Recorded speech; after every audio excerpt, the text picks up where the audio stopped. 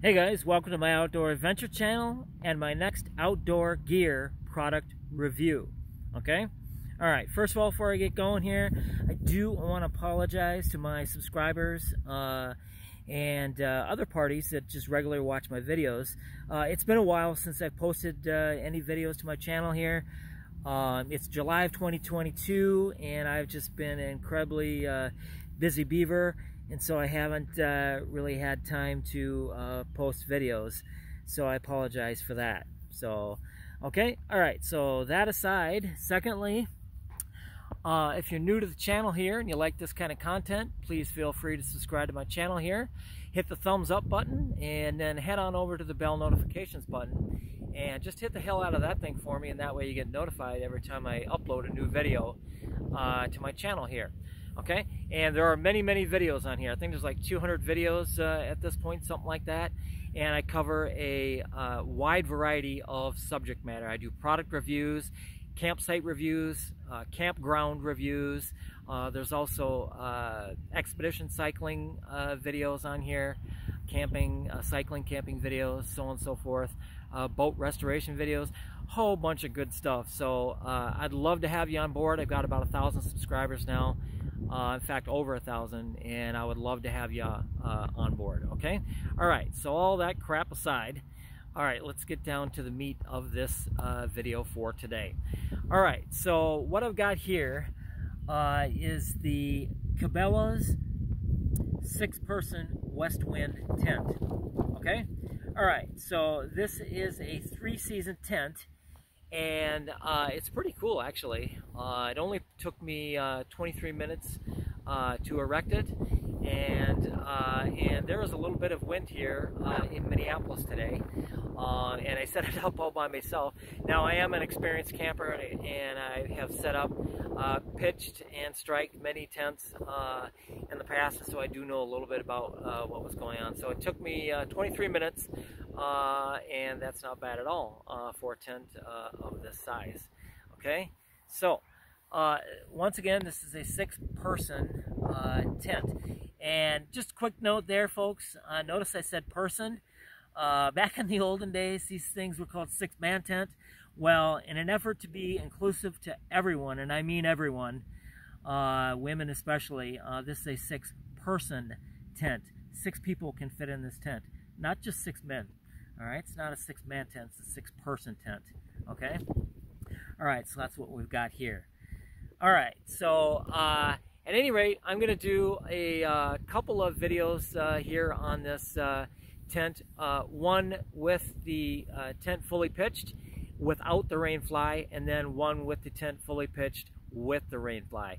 And this, folks, as you can see, is obviously the one without the rainfly. All right, cool beans. Okay, so let's get into some stats uh, here first. We'll cover all that and then uh, we will go do a walk around and then we will uh, go inside, okay? All right, so let me get focused on this here again. All right, give you a nice picture to look at. Okay, so uh, once again, the Cabela's six-person West Wind tent. And the weight of this tent is 22 pounds, 12 ounces, okay? So this is not a tent that you're going to want to go backpacking with or hiking, okay? Uh, simply because of the weight there, obviously. Uh, this is a uh, pretty heavy tent. A 22 pound tent is nothing to be uh, lugging around uh, on your back all day, okay? All right. Uh, and just quick here, folks, I apologize about the wind noise, okay? as I mentioned earlier, it's a little breezy here in Minneapolis today. It's about a 15 mile per hour west wind. West wind. Get it? No, seriously. I know that was cheesy. Uh, there is a west wind that's about 15 miles per hour, so I do apologize for the for the uh, uh, wind noise. Okay, folks. All right. Okay, so moving on. Um, okay, so uh, what is the footprint uh, of the Cabela's uh, West Wind six-person tent? Okay, so the overall dimensions of the tent without the fly are nine foot six inches by 12 foot, okay? So that's pretty big. So that's the whole width, you know, the farthest uh, width points uh, on the tents is uh, nine foot six by 12 foot. So that's pretty good size, six person.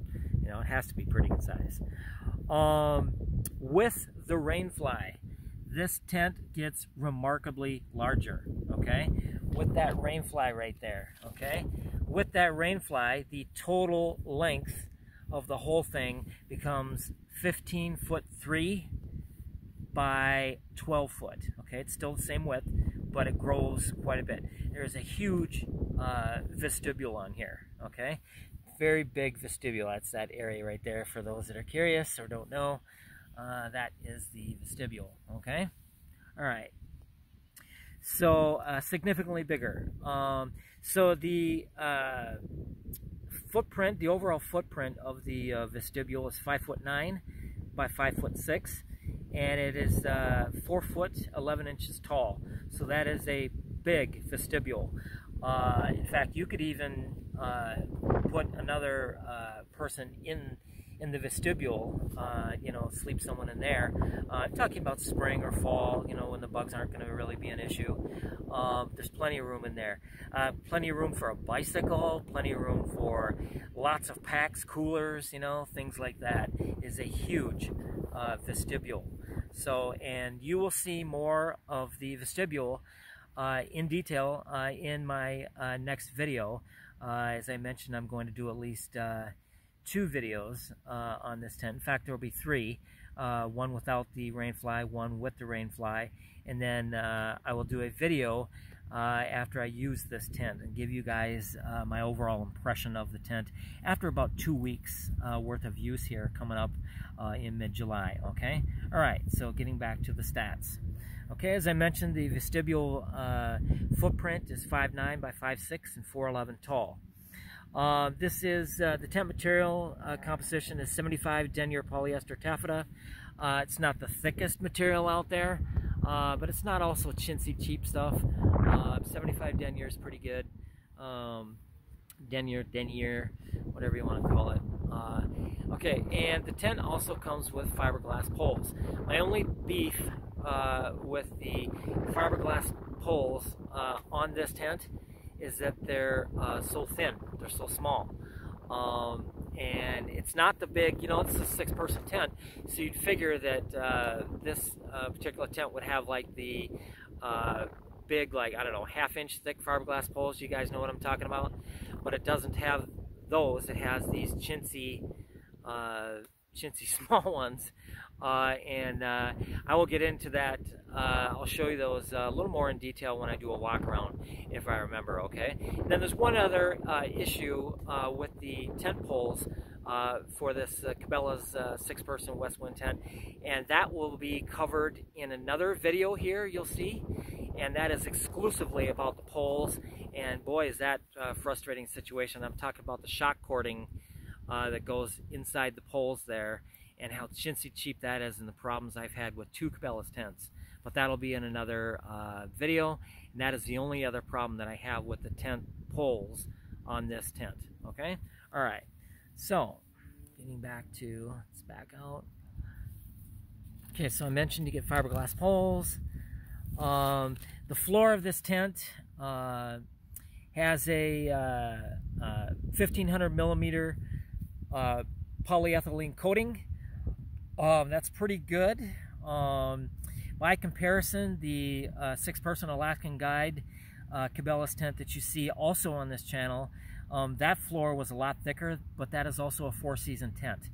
Um, but the floor on this tent uh, is pretty good, and I suspect it's going to hold up to, uh, you know, water uh, pretty well, but we'll see after I use it here in a couple weeks. So, all right, okay, so that is uh, basically the stats, the physical stats of the tent. Um, some more features, however, of this tent. Um, you get large no-seam uh, nylon mesh walls, and they are uh, big. I will go over that a little bit when we uh, do the walk-around video. Um, they're all around the tent, huge uh, no-seam uh, walls, uh, and great for ventilation. Um, right now, today in, in, Minneapolis, it's almost 90 degrees, and uh, I'll tell you, I was inside the tent uh, already, and you don't feel the heat. You do not feel the heat. There's a lot of wind going through that tent, and it's due in large part to the large mesh walls. Okay, all right. So you also get a hanging entertainment system. Uh, I'm not big on that type of stuff. Uh, kids are. Uh, kids will enjoy that feature in this tent. Um, also gear loft. I am a gear loft fan. I like to put lofts up, and I like to throw a lot of stuff up there, like hats, gloves, small flashlights, stuff like that. Um, there's three mesh pockets. I only found two. Um, I don't know if it's referring to the uh, gear loft as a uh, pocket, but I was only able to find uh, two uh, mesh pockets in this tent. So um, with this tent, uh, you get 22 steel stakes and there's 11 tie downs. Uh, tie downs are important, um, very important. Um, uh, in windy conditions, you're out there camping, you want to uh, have a tent that's really stable and tough. Uh, and so the more tie downs you have, the better. And this uh, tent uh, leaves nothing to be desired there, has 11 tie downs. And the tarp, additionally, also has uh, tie downs on it. So, but I'll do that in another video for you guys. I'll show you that. So um, you get a repair kit with this tent and obviously a carry bag. Okay? All right, so enough about the stats on this tent. Let's go do a walk around. This is what I'm really excited to show you. Show you the tent in detail. And once again, I apologize for the wind. It is a little breezy here in Minneapolis today in July. So, okay, let's go on over. The center height, I don't know if I covered that, folks, but the center height is six foot three. Uh, plenty of room in there uh, for most people uh, to stand, stretch, whatever. Uh, there's plenty of room in that tent to stand up and stuff.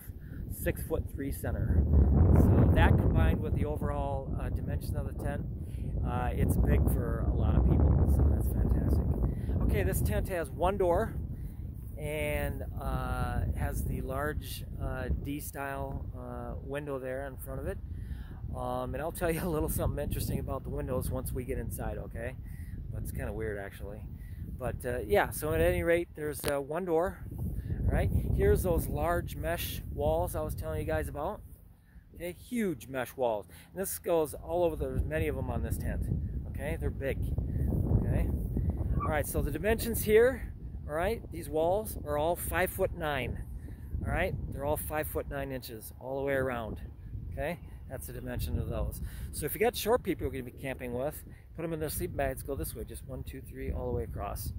But uh, five foot nine is the width of the wall there. So, and there's that funny looking dome at the top there. Looks kind of goofy. I think there's seven stake points on this. Uh, as it's standing, freestanding, there's seven stake points. just walking around here. There you can kind of see the dome. I don't know, it just looks, just looks goofy. All right. And then let's uh, show you the poles here. This is what I'm talking about. These things are like 3 8 inch, I'm guessing, 3 8 inch thick. I would much prefer uh, on a tent of this nature um, for a large uh, group of people uh, that's this big, catches a lot of wind. I would much prefer it to be the larger ones. I don't know if they're half inch diameter poles or whatever they are, but uh, it would be great to have thicker poles uh, on this tent. So, all right, so let's go inside the Cabela's six-person West Wind tent. Okay, so the zippers on this are, uh, you know, they suffice. They do a pretty good job. Uh, they're not the really super heavy duty uh, zippers that you get on the Alaskan guide tent, uh, but they uh, obviously suffice and they move real smooth. They don't catch or anything like that. So we'll step inside and close the door. Okay guys, welcome to the Cabela six person West Wind tent. We're inside, okay? Here's the five foot nine I was telling you about. Okay. Mesh pocket there. mesh pocket there. And then the only other one that I can see they might be referring to would be the one that goes up here, would be the gear loft and fastens to these uh, these nylon fasteners here. So I don't know, maybe that's what they're referring to, I don't know. But there's only two pockets. that I'm able to uh, discern. So um, there again is the large mesh walls. Okay, really nice size. Okay, and the windows. All right, so what I want to touch on the windows. Okay, so there's this one and this one on the door. Okay, all right, so let's start with this one back here. All right, so uh, a very common feature on tents is to have these tie downs. So for instance, when you roll this flap down that's on the window, um, you have a way of keeping the window flap um, secure, okay? And you can see there's one there, all right? Got these great little fittings on here, if you will. All right, you just roll the, uh, you just roll it down, and, uh, and you got a place to uh, store that flap. Not so on the door. Go figure that one. I don't know why. Okay? Not so. None whatsoever. None. Okay? so you just roll it down and it stays there. Okay? That type of thing. So, uh, one thing that I find uh, really cool uh, about the uh, front and back uh, walls, I'm talking about the door here, and this uh, this would be considered the back officially, back wall, is see the distance from the floor to the where the window starts. Um, oftentimes in the summer months, you're camping and you know it's morning and sun's coming up. You want to roll those windows all the way down, and but you still want privacy, right? So uh, you've got what I would guess is about, say, 14 to 18 inches there uh, of privacy space, where there's uh, obviously you can't see through that. So you could be laying in here, right, and uh, have the window all the way opened. Um, now you've got these that go down much further. That's only about a foot distance there, but that's the side. Okay, that's all on, on the sides. Uh, the front, which faces people generally, or the back, uh, is where uh, people would be seeing, and they wouldn't be able to see you uh, laying in here in your skivvies or whatever. Uh, there's a, a, degree of privacy there um, for you. I like that. I like the windows uh, on a tent like this to be up off the floor uh, quite a bit. So that's a great, great thing. Okay, so uh, the floor in this tent, um, I don't know if I mentioned it earlier. I think I did. The uh, floor here is, uh, you know, it seems like it's, you know, it's got that 1500 millimeter um, coating on there I told you. It's not the Alaskan Guide tent, the Four Season, okay? Uh, which has got a really thick floor. Uh, almost feels rubbery. Okay, but this floor here is like a regular tent floor. Uh, I'd say maybe a smidgen more, uh, but uh, it's kind of thick, you know. But uh, as I said earlier, I think I think it is going to hold up to water pretty well. I guess we'll find out. Um, but the floor is uh, doesn't feel real thick, but it feels all right. So um, I don't know. I guess you're gonna have to purchase one and find out, right? Just kidding. Uh, so anyways, yeah. So uh, that's your floor. I uh, can't really feel any rubber stuff like I can on my other tent, my other Cabela's tent, but I'm sure this will suffice. So. Um, so at any rate, that is the interior. Let me step back outside real quick here.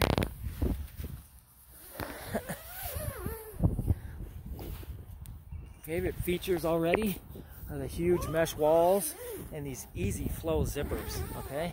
I also like the color, okay? Orange is like my favorite color, all right? And for those of you that uh, subscribers, especially have seen a lot of my other videos, um, I've got a couple of toys, power toys. I've got a uh, new quad, new four-wheeler ATV, and I've got a sled, and they're all orange. so, do I like orange? Yes. So do I like the orange colored uh, uh, straps and tie downs and stuff on this? Yes, I like that. So is that a reason to buy or not to buy? No, but it's just one of those extra little things. So at any rate, that pretty much does it. All right, I want to thank you guys for bearing with me in the wind today um, and sticking with me throughout the length of this uh, video. It's almost 20 minutes here. Um, I hope you like this tent, and if you like it, hope you purchase one and enjoy it with your family. Um, and if you like this kind of content, once again, folks, please feel free to subscribe to my channel and uh, hit the bell notifications so that you get notified every time I upload a new video. And we will see you in the next video. And like I said, there will be a couple videos, uh, at least two, uh, at least three rather, uh, videos on this tent. So look for those on here as well if you want more information on this tent. I like this tent so far and I'm looking forward to using it this summer. All right, live from Minneapolis. We'll see you in my next video.